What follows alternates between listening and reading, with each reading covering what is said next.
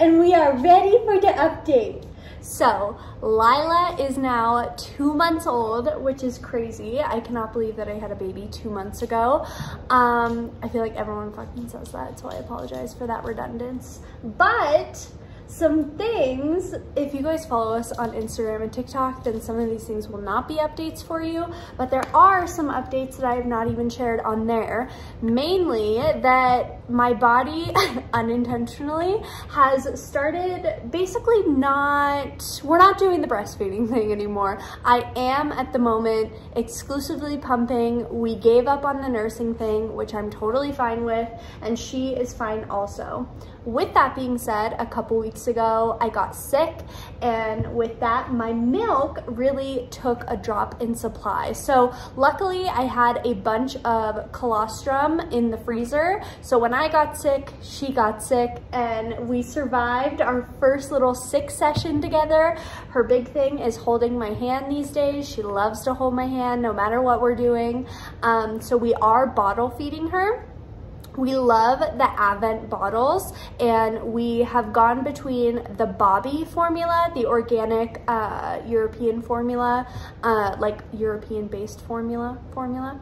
Um, and she seems to do better with the liquid formulas versus the powders. The liquid can be more expensive, but just um, my pediatrician was explaining it to me that they suggest and prefer uh, newborns to have the liquid over powder and the liquid seems to do better on her tummy anyway. Hi. Um, and if you follow us on Instagram or TikTok, you know all about our gas drops trick. So we have been doing the gas drops trick still in her babas and she loves it. She loves her babas, yes. And we had no problem um, doing bottle feeding with Lilah because we did that in the hospital also when we were having trouble with someone latching. Yeah. And instead of calling her a lazy feeder, I just say she's an efficient feeder. She knows that the bottle is quick and it's also amazing because um, anyone can feed Lilah. I can sleep through the night. Her dad can feed her. Uh, when she's with her grandparents, they can feed her. And it's just, it's really amazing. I try and, I try and find all the high points that I can for baby shrimp. Yes, you're not a lazy feeder. You're amazing. You did exactly what was perfect for you. Yes, I love you. You did great. And yeah, she takes milk like a champ. She's a great eater and she is just so sweet. She is so sweet. And I know that that is like so annoying because I, I get a lot of messages, messages from you guys saying that you know, your baby's super fussy and you don't know what's wrong. And I don't feel like I've ever felt like Lilah's too fussy. I feel like whenever she does cry or whine, she just needs something. And I don't know, maybe that's not normal or maybe I just learned her cues quickly. I don't know. But every time she does cry or, you know, just is more talkative than normal, because sometimes she'll, what I think is crying is just her communicating with us. Um, and so I don't, I just don't know what I did to get so lucky. I don't know. And I cry every day how much I love her. It's disgusting and annoying, so I apologize for that. But she is just doing so well. She absolutely mother effing hates tummy time. But what we started doing for tummy time is I just lay her on me um, and we do tummy time that way. And also the Snuggle Me breastfeeding support pillow that we got, we just put her up on that like you would like a boppy lounger. And she really enjoys that. She is pretty much sleeping through the night now. She still wakes up um, once and then so she normally goes to bed around eight or nine and then she'll be up around three to four and then after that she goes back to sleep uh, and normally gets up around seven or eight. So there is no like strict schedule that we have Lilah on right now and that's just what works best for us. I think not putting her on a strict schedule and just letting her lead the way. She's still a newborn, she's still a baby baby and you know remembering that she's figuring it out just as much and a big mental shift for me with like because i would get like anxious at night. I would be so anxious even during nap time of not knowing when she's going to wake up reminding myself that because like you know nobody wants to admit like we're dreading our baby waking up but we, I got this like anxious feeling of waiting for her to wake up and I knew that I'd be a little cranky when she would wake up and I was dreading it. And then I just reminded myself like, well, also when she wakes up at night, like she's tired and then she's also hungry or she has wet pants and needs, needs to change her pants, huh? You got spit bubbles galore, sister. Um, yeah, you're so funny. And, um, really reminding myself that it was it's not only me who is dreading her waking up. Like she wants to sleep just as much as we want to sleep and also reminding myself that there's a reason that she's waking up. She needs something whether it just be needing our attention and our love and you know still figuring out her emotions or she's hungry or she needs to be changed.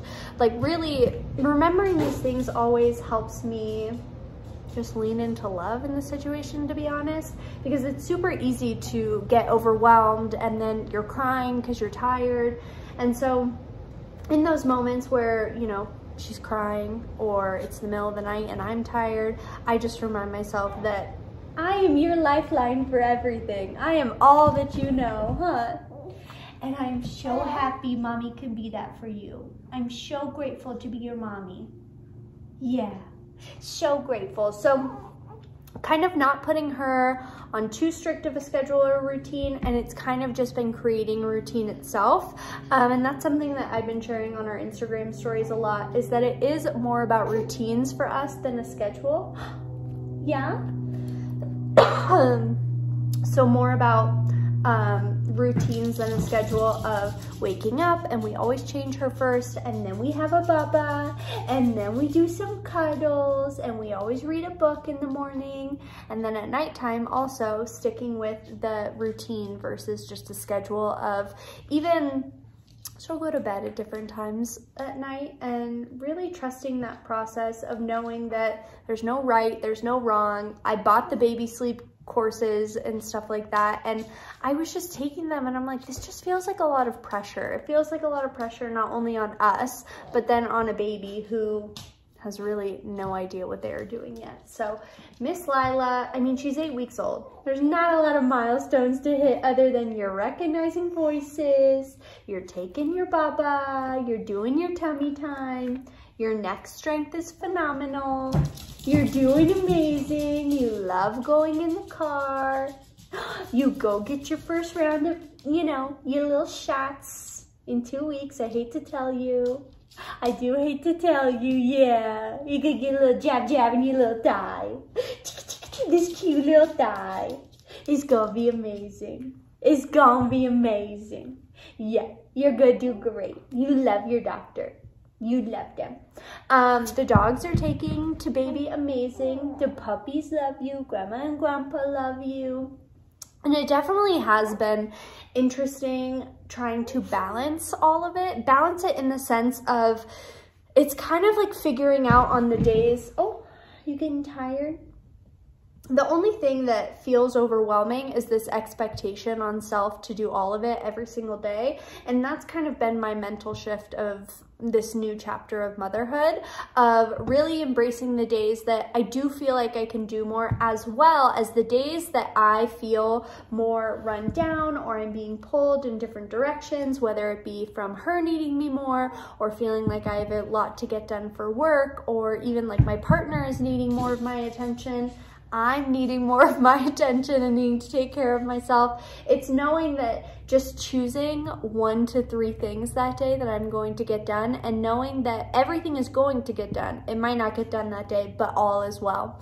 And I think, um, too, there the days that feel overwhelming are only because I'm kind of future tripping on what I should be doing or could be doing. And, you know, a lot of people, that saying, like, sleep when the baby sleeps, I don't know who made up that saying, probably a fucking man, because I don't know anyone who can sleep when their baby sleeps.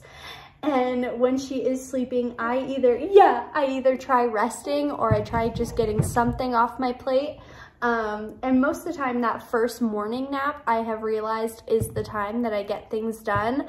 Um, I have not looked into a babysitter. We're personally not doing daycare. I've gotten a few questions about what our plan is for that. So luckily I work from home and luckily we have family that is close and, um, you know, always having hands with Lilah. Yes. So it's just us during the day. Uh, you know, unfortunately don't have paternity leave here, but that's okay. We make it work. So we are still figuring it out, huh? So I'm excited during Vlogmas to just take it day by day, huh? Take it day by day. Yeah. So I'm to be doing Vlogmas with a newborn. As I talk to you guys on Instagram, I'm doing it every other day. And then on our Patreon, um, we either have a video or a podcast going up every day. Um, hi, baby. Hi. So on Patreon, it's going to be more of like just kind of journal entries and thoughts around motherhood and my first motherhood um, during the holidays. So what do you think? Did mommy leave anything out? We just spend most of our days talking to each other. We do a lot of talking. You love bath time at night. Yeah, you love your bunny blankie. You love your fleece jammies. Double zip ups all the way. I need to do an updated newborn essentials video. Yeah, I did one for four weeks. I need to do an updated one. Yeah. We survived our first sickness together though. That's amazing. Yeah, daddy got sick too, huh? Oh, oh. You're tired, huh? You fighting a nap? Is it time for baby to go sleep? Sleep, sleep? Oh, you're getting tired. Look at all this hair coming in. Look at all this hair coming in, Lilah Lace. Yeah. Wow. Wow. Tell mama. Yeah. You look beautiful. You look beautiful. I love you. I love you. okay, so that is our update. I mean, it all feels like it just has been blowing by. Like, I know that sounds crazy, but oh my gosh, I feel like she was just, I feel like I just had her. I feel like she just was so small and now she feels like a toddler already. I'm not gonna lie, maybe other moms are gonna be able to understand, but I just feel like she's so big. And she's only 11 pounds. Maybe that's really big, but some people have babies at 11 pounds. She came out at seven pounds, seven pounds, seven ounces. Now she's 11.1 pounds. Of course you are. Yeah, my little Libra with an Aries moon. Huh? Better stop chewing on those hands. oh.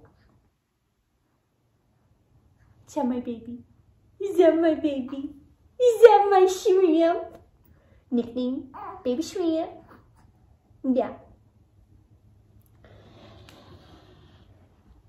This is the baby. Lilah, I'm so obsessed with you. I love you so much. Okay, it is all beginning. Did you grab the batteries? Yeah, we're gonna need more batteries. we only have six batteries. Luckily, I know a house with a lot of batteries. We're gonna need more batteries. If anyone takes batteries seriously, it's Grandpa Lace.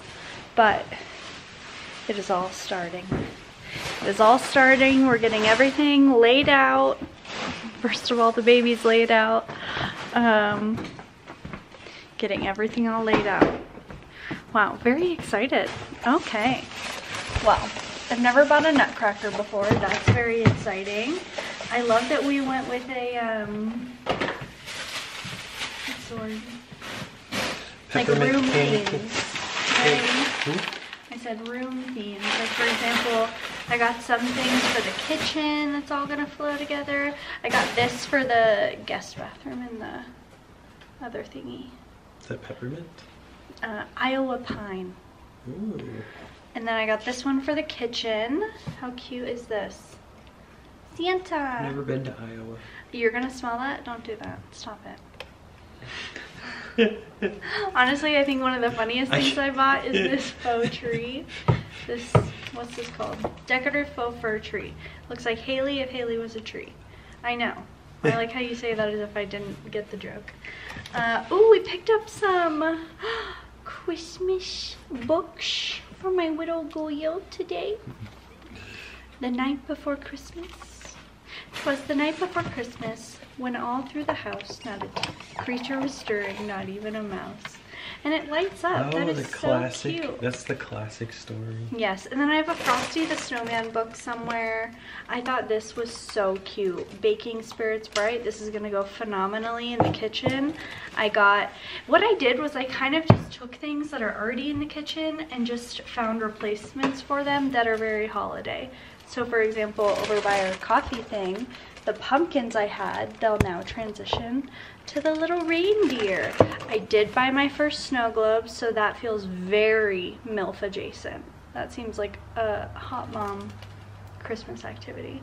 My mom was big on snow globes and she was pretty hot, so seemed, seemed correct. Also, I loved this. I am carrying a little book about Jane Goodall. If anyone who does not know who Jane Goodall is, is not someone that I want to be friends with. Jane Goodall, the angel of all. I know there's not one about Abraham Lincoln. Interesting. And then fairies are real. Lilah, you'll love that. We got a bunch of ornaments. Wow, my brain is not working. I feel as if like just hot in here, you know? Let me leave the kitchen. Yeah, thanks so much. Doing the Lord's work. Oh, I got this mug, and honestly, I mainly got this to leave out just because I think so holiday, so cute, so fun. Target has such cute Christmas stuff this year, which I'm always surprised when they actually pull through. Um, let's see. Okay. Ooh, I think like one of the things, honey, was this not like a vibe? Did you see what I did here? With this napkin holder. So not only is the napkin holder so cute, right? But then we have these amazing napkins that we got from Walmart. Pioneer Woman. I know people really like shit themselves over the Pioneer Woman stuff. But then also these, like that is fa la la la la. I'm hypnotized. Christmas. Are you? Yeah. Yeah, you're welcome. Um, this was a very strong mom move. This was a strong mom move. Do you want me to start on that? Yes, I do. 100%. What is the it? decorative door panel. Yeah. Wow. This screams I am a mom. You know what I mean? Mhm. So, very excited about that. We need to get moving with this. Ah, wow. Things are happening. This tree pillow that you can't see. Wow. Oh, wow. You ready? Okay, here you go. I don't know how babies sleep through absolutely everything. Oh, look at all her hair coming in. I felt like all her newborn hair fell out just one day, and then out of nowhere, I feel like all this hair is here. Who are you? Where is my baby? She said, hands up. This is her baby shrimp, baby Björn carrier. She loves it very much. Um, wow. I'm feels tired. Tired. Being sick really took it out of me. That was my foot. You just threw that at. How does that go up? Tape? Uh, we're gonna figure it out. Should we trim it to fit?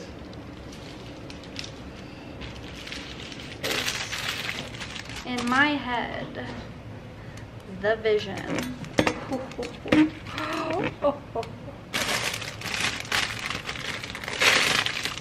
I'm gonna have to get more of these candy canes, or lollipop, whatever, candy cane lollipops. Oh, I did not just do that. Very fun. Uh, have super glue. wow. What is this stuck on?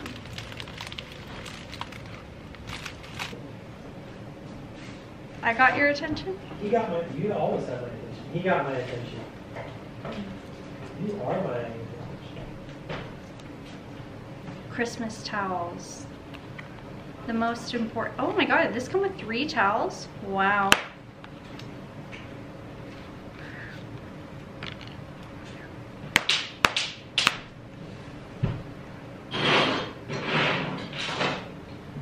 Christmas towels.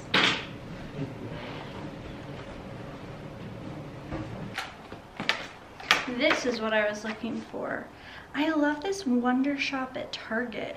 Six feet garland with the little reindeer. Uh, this will be going in the kitchen. Let's have James do this right now. I know you're doing something else. Who else does this? I know you're doing something else, but uh, let's do what I want to do. Because I need to see it. And in red, like an Aries, woohoo! Oh yes. Oh yes, yes, yes, yes, yes. Love the tree.